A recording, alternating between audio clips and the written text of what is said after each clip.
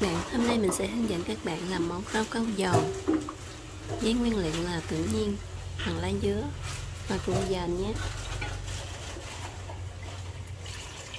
Các bạn chuẩn bị rau câu cái rau câu này 25 gram. Và tắm chén nước lạnh.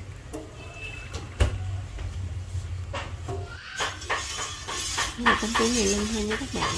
Chúng ta sẽ hâm hỗn hợp rau câu 30 phút trước khi nấu các bạn nhớ cái điều nhé. Sau đó chúng ta sẽ bật bếp lửa lớn lên cho rau câu sôi. Rồi từ từ mới nhỏ lửa cho đến khi rau câu tan. Các bạn nhớ khuấy đều để tránh rau câu dính với đáy nhé.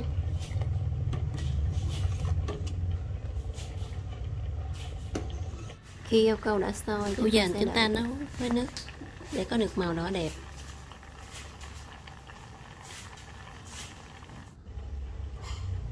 phần lá dứa.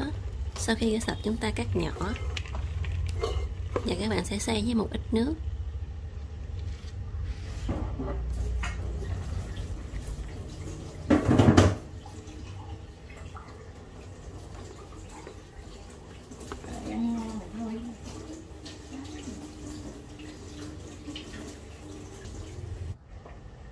Sau đó, dắt lấy nước cốt lên để có được hỗn hợp nước cốt lá dứa các bạn nhớ là cho ít nước nhé. Chúng ta đã có được hai màu lá dứa và củ dền rồi. Chuẩn bị nửa lon sữa đặc nhé. Cho một phần ba hỗn hợp rau câu trong vào sữa đặc. Quay thôi quay này. Quay đều lên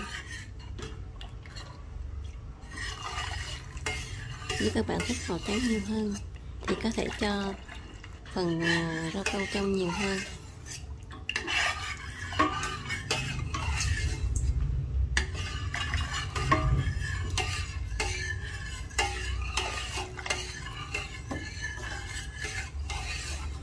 Chừa lại phần rau câu trong để một lát chúng ta sẽ đổ để pha màu xanh, lá dứa và màu đỏ củ dền nhé. Để chúng ta được ba màu cỡ 250 gram đường cát trắng. Cho 1 phần 3 vào phần sữa đặc rau câu sữa đặc. Còn lại chúng ta sẽ cho đường hết vào phần rau câu trong và thêm một ít muối nhé. Các bên bếp cho sữa chín một chút. Chúng ta bắt đầu pha màu để đổ vào câu nhé. Màu đậm nhạt tùy các bạn thích chúng ta trộn đều lên. Và bắt đầu đổ. Nếu mà cao câu đặc quá thì các bạn sẽ thêm nước cao câu trong. Và thêm tí màu nữa. Chúng ta sẽ đổ một phần, hai khuôn. Khi cái lớp nó bắt đầu đặc thì chúng ta mới đổ lớp thứ hai cho đầy khuôn. Các bạn nhớ chọn hai cái màu khác nhau để cho rau đầu của mình đẹp hơn nhé.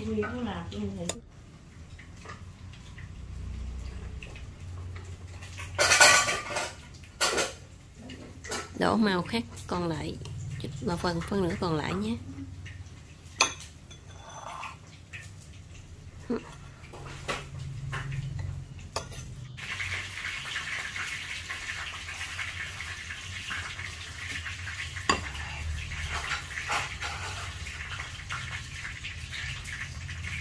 Có nhiều khuôn rau câu để chúng ta lựa chọn. Ở đây mình chọn những khuôn rau câu nhỏ này, thì các bé rất thích. Còn phần rau câu dư, một lát mình sẽ chỉ các bạn cách đổ rau câu sơn thủy nhé.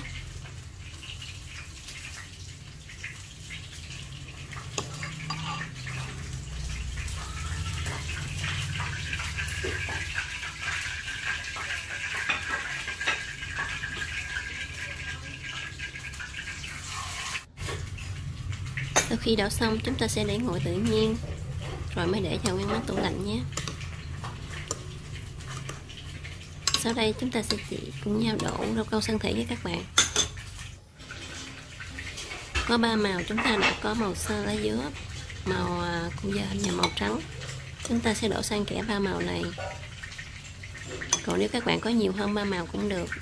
Chúng ta cũng vẫn cứ đổ xen kẽ như vậy. Càng nhiều màu thì rau câu sơn thủy của chúng ta lại càng đẹp các bạn ạ. Các bạn có thể pha thêm màu cà phê hoặc màu sô cô la.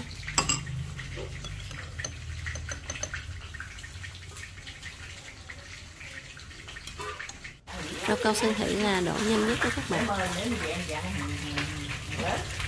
Tập sau mình tiếp tục đổ đổ rau câu lớp nhé các bạn. Mời cái việc ở nhà hay ở nhà Đó là sen kẽ ba màu để được hỗn hợp sơn thủy rau câu cực đẹp nhé đủ rồi đưa đi Việt kiều đi gì đó. À, liên quan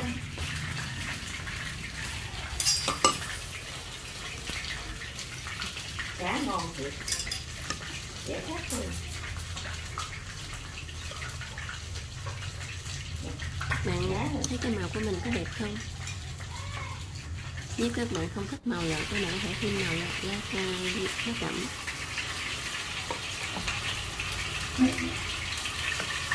sau khi hoàn thành chúng ta để nguội nhiệt độ phòng. Và để ngăn mát. Wow thành phẩm đã xong. Từ các khuôn nhỏ chúng ta được những bông hoa rất là dễ thương. Còn đây là thành phẩm rau câu sơn thủy của mình. Màu có thể có vẻ hơi tái nhé các bạn nếu các bạn chọn củ dành to thì màu sẽ đẹp hơn đấy. Hoặc là lá cẩm. Cảm ơn các bạn đã theo dõi.